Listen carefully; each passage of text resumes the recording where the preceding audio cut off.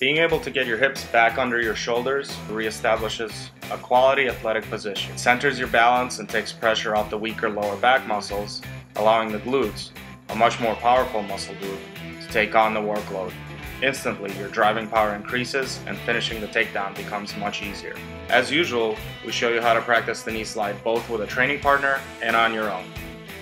Knee slide steps. Number one, pick up your leg, peeing like a dog. Number two, drive your hips forward.